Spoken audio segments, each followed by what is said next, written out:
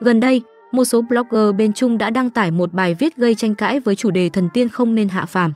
Cụ thể, nội dung bài viết đề cập đến chuyện những đại hoa đáng đã đóng phim điện ảnh quá lâu thì không nên đóng phim truyền hình, đặc biệt là vai thiếu nữ xinh đẹp. Đáng chú ý, ba cái tên được lấy làm ví dụ là Trương Tử Di, Châu Tấn và Thăng Duy. Những bức ảnh đã khiến nhiều cư dân mạng choáng váng vì không ngờ các nàng ảnh hậu này lại từng có tạo hình kém sắc và diễn xuất khó hiểu đến vậy. Cũng từ những bức ảnh này, một câu chuyện khác cũng được nhiều người đem ra thảo luận đó chính là những lần các nàng đại hoa đán. Ảnh hậu của màn ảnh hoa ngữ nhận về thất bại ê chề khi đóng phim truyền hình. Trong video này hãy cùng Cbiz phim điểm sơ qua những lần như thế nhé. Trương Tử Di ngã đau với dự án truyền hình Thượng Dương Phú. Thượng Dương Phú chuyển thể từ tiểu thuyết Đế Vương nghiệp của Mỹ Ngự Giả, quay vào năm 2018 và lên sóng vào đầu năm 2021 sau hơn 2 năm tồn kho. Phim quy tụ dàn sao kỳ cựu như Trương Tử Di, Chu Nhất Vi, Huệ Anh Hồng, Viên Hoàng. Với danh tiếng của Trương Tử Di, không có gì lạ khi Thượng Dương Phú gây chú ý ngay từ những tập đầu tiên. Tuy nhiên, người xem lại chịu sự thất vọng nặng nề vì màn cưa sừng làm nghé quá lố của nữ chính Trương Tử Di. Không ít ý kiến tỏ ra khó chịu và tuyên bố rằng chẳng thể xem nổi Thượng Dương Phú vì khác biệt giữa ngoại hình và tuổi tác của bà mẹ hai con trong phim quá rõ ràng. Mặc dù mạch phim của Thượng Dương Phú được đánh giá ổn, song chưa đủ để níu chân khán giả. Về sau, sự quan tâm của công chúng dành cho Thượng Dương Phú lại càng tụt dốc không phanh. Bộ phim biệt tâm biệt tích trên các diễn đàn phim ảnh, cũng như trang bình luận phim hay các trang tin hoa ngữ. Thậm chí, nhiều dân mạng còn tưởng rằng Thượng Dương Phú đã kết thúc từ lâu. Chứng kiến màn flop toàn tập của Thượng Dương Phú, dân mạng không khỏi ngỡ ngàng và liên tục đưa ra nhận xét về nguyên nhân khiến phim không được đón nhận. Trong số các lý do xoay quanh chuyện Thượng Dương Phú ngày càng thụt lùi, có ý kiến cho rằng vì phim không được quảng bá tốt và nữ chính Trương Tử Di cũng chẳng thèm tuyên truyền. Trên đô ban, khán giả chê cốt truyện ở các đoạn cao trào quá khiên cưỡng, nhạt nhẽo. Yếu tố cung đấu hấp dẫn dần trở thành thứ làm nền cho nữ chính Vương Huyên của Trương Tử Di, tất cả chỉ nhằm mục đích giúp cô tỏa sáng thêm. Nhân vật Vương Huyên bị mỉa mai là Mary Sue, tên chung cho bất kỳ nhân vật hư cấu nào tài giỏi hoặc hoàn hảo đến mức vô lý, ngay cả trong bối cảnh hư cấu, điển hình của dòng phim truyền hình hoa ngữ. Bên cạnh đó, dân mạng còn khuyên Trương Tử Di không nên nhận dự án phim truyền hình nào nữa. Thang Duy vừa kém sắc, vừa diễn tệ trong Đại Minh Phong Hoa. Đại Minh Phong Hoa không quá căng thẳng như các phim tranh đấu quyền lực thường thấy ở Trung Quốc. Bộ phim dựa trên tiểu thuyết Lục Triều Ký Sự, khai thác câu chuyện 50 năm đầu tiên của triều đại nhà Minh ở Trung Quốc và chú trọng khắc họa chân dung hiếu cung hoàng hậu Tôn Nhược Vi do Thang Duy đóng. Tôn Nhược Vi tên thật là Man Thu, sau khi cả gia tộc bị sát hại, cô được đổi tên để giữ lại mạng sống. Vì những mưu đồ chính trị, Nhược Vi trở thành phi tần của Hoàng Thái Tôn Chu Chiêm Cơ do Chu Á Văn đóng. Cảm động trước trí tuệ và lòng thiện lương của Chu Chiêm Cơ, Nhược Vi đem lòng yêu người đàn ông này và dần buông bỏ hận thù, một lòng giúp chồng lên ngôi hoàng đế.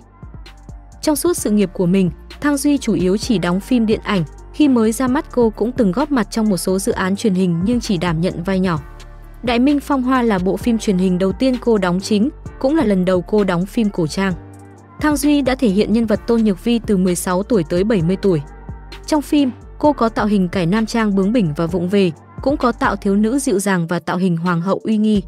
Tuy nhiên, ngay từ trước khi chưa lên sóng, bộ phim truyền hình Đại Minh Phong Hoa đã bị ném đá dữ dội vì tạo hình thiếu nữ của Thang Duy trong trailer đã dọa khán giả một phen hết hồn vì quá xấu. Đến khi Đại Minh Phong Hoa bắt đầu phát sóng những tập đầu tiên, phản ứng của khán giả dành cho Thang Duy vẫn không mấy khả quan hơn. Thang Duy trước nay vẫn luôn là một nữ thần nhan sắc và là nàng hoa đán phái thực lực trong mắt mọi người. Nhưng trong Đại Minh Phong Hoa nhiều khán giả cảm thấy phong độ diễn xuất của Thang Duy có phần tụt dốc. Màn thể hiện của nữ diễn viên trong nửa đầu phim không hề xuất sắc, đài từ cũng không hay, thêm vào đó tạo hình cổ trang cũng không quá phù hợp với Thang Duy. Tất cả những điều này làm cho mọi người ngày càng thất vọng ở giai đoạn đầu phim. Để càng về cuối phim, khi nội dung phim ngày càng hấp dẫn, diễn xuất của Thăng Duy cũng ổn định trở lại, thì khán giả cũng không còn đủ kiên nhẫn để tiếp tục theo dõi những tập còn lại của phim. Châu Đông Vũ với bộ phim đáng quên Thiên cổ quyết trần.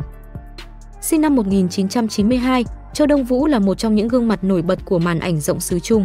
Dù tuổi đời vẫn còn trẻ nhưng thành tích mà cô đạt được khiến nhiều đồng nghiệp cùng thế hệ phải ngưỡng mộ.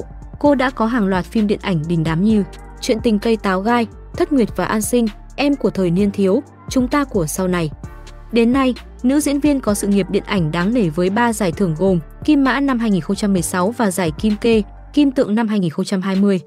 Với thành tích này, cô được gọi là tam kim ảnh hậu trẻ nhất lịch sử Trung Quốc, được so sánh với các đàn chị như Châu Tấn và Trương Tử Di. Thế nhưng, mọi ấn tượng tốt đẹp của khán giả đối với Châu Đông Vũ suýt chút nữa đã đổ sụp hoàn toàn khi cô đảm nhận vai nữ chính thượng cổ trong phim cổ trang Thiên Cổ Quyết Trần năm 2021. Ngay từ những tập đầu phát sóng, bộ phim đã để lại nhiều ấn tượng cho khán giả xem truyền hình. Với tạo hình hoàn toàn mới mẻ và lối diễn xuất tự nhiên, linh hoạt, Châu Đông Vũ đã nhận được nhiều đánh giá tốt từ phía khán giả. Các từ khóa chủ đề kỹ năng diễn xuất của Châu Đông Vũ và Thiên Cổ Quyết Trần lần lượt đạt đứng thứ nhất và đứng thứ hai trên bảng hot search Weibo với lượt truy cập và thảo luận khủng. Nhiều ý kiến cho rằng Châu Đông Vũ không hợp với tạo hình cổ trang và cũng không có khí chất tiên nữ, diễn xuất của Châu Đông Vũ trong phim có phần gượng gạo, không phù hợp với thiết lập hình tượng của vai diễn thượng cổ, thậm chí có phần kém cạnh khi so với nam chính Hứa Khải và các diễn viên phụ khác. Bên cạnh đó, nhiều người cũng bày tỏ sự thất vọng vì những ấn tượng của họ đối với khí chất và diễn xuất của Châu Đông Vũ trong các bộ phim điện ảnh trước đó đã biến mất khi xem Thiên Cổ Quyết Trần. Châu Tấn lật xe sau 6 năm cùng với hậu cung như ý chuyện. Trường hợp của Châu Tấn thì khá thú vị khi vai diễn như ý của cô bất ngờ tạo nên làn sóng chỉ trích mạnh sau 6 năm bộ phim hậu cung như ý chuyện lên sóng.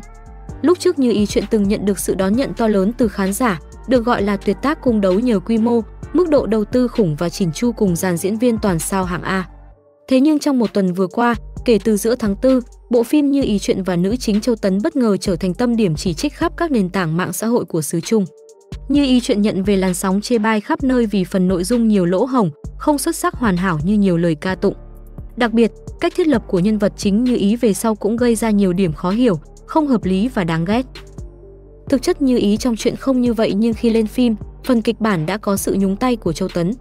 Trong một phỏng vấn, cô chia sẻ đã có sự thay đổi về cách xây dựng nhân vật như ý theo ý của mình.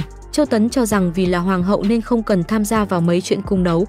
Xong, vì vậy mà theo nhiều netizen, mạch phim như ý chuyện về sau khá đuối và nhàm chán, chỉ có như ý nhu nhược ngồi nhìn con cái. Tỉ muội thân thuộc qua đời mà không có bất kỳ ý định trả thù, thậm chí chỉ ám ảnh bóng hình người mình yêu đến khi qua đời vì bệnh tật. Ngoài ra, còn nhiều yếu tố khác khiến cho Châu Tấn bị lật xe, ngoài việc chi phối như ý chuyện quá nhiều, thì còn có diễn xuất và tạo hình cưa sừng làm nghé của cô ở đầu phim quá kém sắc.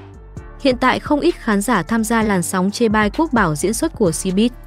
Tài khoản Weibo giải trí của Sina cũng đã đăng một bài phân tích dài về hiện tượng như ý chuyện bị cộng đồng mạng tẩy chay sau 6 năm phát sóng, với các quan điểm rõ ràng và cứng rắn cho rằng Hậu cung như ý chuyện không phải là một bộ phim dở tệ thông thường.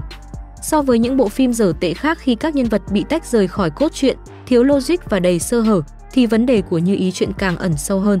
Bề ngoài, trong vũ trụ hậu cung của hậu cung Như Ý chuyện, nữ chính Như Ý là ánh trăng sáng sưởi ấm cả hậu cung, đồng thời cũng là một người có số phận bi thảm, bị tình cảm trì hoãn. Nhưng trong thực tế, năm 2024, mặt trái của nhân vật Như Ý đã bị lột trần. Như Ý bị cho là một kẻ đạo đức giả, một người nhân danh đạo đức phong kiến để nhàu đáp và biện minh cho những suy nghĩ và hành động của mình, nhưng thật chất cô chỉ ích kỷ quan tâm bản thân mình. Trước đây, khi hậu cung như ý chuyện vừa lên sóng, đã có nhiều người lên tiếng để nói lên những nghi ngờ, phê phán về nhiều khía cạnh của phim.